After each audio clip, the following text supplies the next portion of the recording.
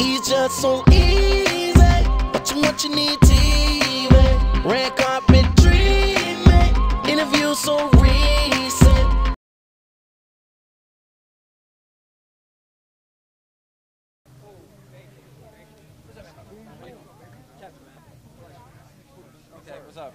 All right, so real quick, man, if you could just say your name, what you're representing, and what brings you out tonight. Yes, uh, my name is Pooch Hall from the TV show The Game.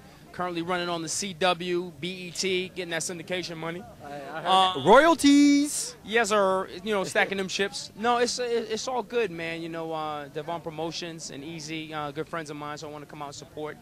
And, uh, you know, continue to, to, to show my face, man. Uh, I'm chasing Will Smith. I'm coming for you. You understand? Uh, no, it's all. Wow, that's that, that's a big day. That's You know, big. but you know what? You know? Uh, no, I'm a big fan of Will, and um, every everything is, uh, is is all love right now. Uh, we just finished up uh, the game. Um, got a video coming out that I did with Chrisette Michele. Uh, just just did a uh, movie of the week on Spike TV called Extra Credit. And um, I'm just right now. I'm just taking a look at some scripts and waiting to uh, grab my next role. Well, see, that's where all the work is going. That's why my agent called me in a while. You know, you taking all the damn work. You know what I mean? You know, uh, you, you got to stay busy, man. You know, um, living out here in LA, the entertainment mecca.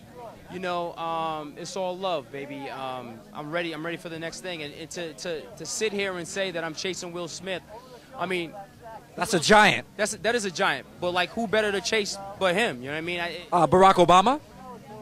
I'm gonna stick with Will Smith right now because Barack's has got some huge shoes to fill right now, and he's cleaned up a lot of mess. So hopefully, Real talk. Oh my goodness. So I hopefully, you know, Barack uh, will, uh, you know, he won't lose his mind fixing what he messed up. You know, damage control right now. But um, I'm really happy. I'm really happy that I'm really happy that Barack uh, is doing his thing, and you know, I look forward to seeing what's gonna happen in the future with our country. Real talk. All right, last question. Uh, obviously, I know you're on the game, so you probably know a little thing or two about athletics. Uh, who do you got, Lakers or the Magic? Kobe Bryant, the Black Mamba. There is no substitute. That kid is a beast. He's a savage, the best player in the league. Enough said. I'm out. Uh, Sorry, LeBron. If you heard that, I I, I don't know what to say, dude. I, I guess you don't exist, LeBron. I'm a fan, but Kobe's my man. Um, I mean, he was actually supposed to do the show. I don't know what happened. Um, but yeah, I'm Probably got a little busy. he got a little busy, a little bit. You know, it is LeBron James. but Kobe Bryant um, is, the, is the best player in the league. He's, he's, he's a savage. You know what I mean? And um, I'm pulling for him. Um, I say Lakers in, I say four.